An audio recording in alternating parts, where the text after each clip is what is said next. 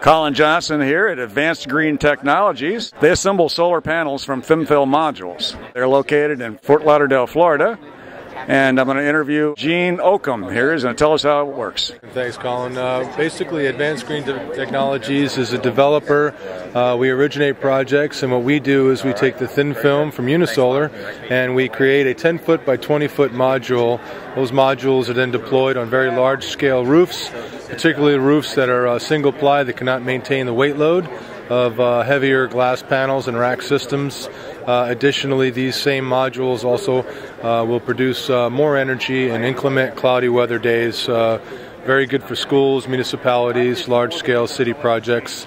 Additionally, AGT also uh, supplies uh, concentrator technologies as well as other sustainable wind and uh, daylighting technologies as a uh, sustainable solutions company.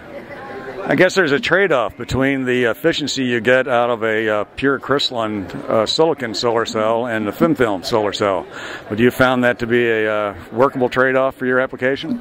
Yes, absolutely. As a matter of fact, that trade-off uh, really is geographically, uh, regionally located. In other words, uh, if you're in a, an area that has all sun, as in Southern California, then in, in fact, very well, we may find that the glass may produce more electricity than the thin film. However, in areas like Oregon and New Jersey and northern regions where you have inclement weather uh, a good majority of the year, our thin film will actually produce more power uh, on an annual basis than the uh, glass PV. Do you have a sample of a thin film cell you can show me? I sure do. Here you go.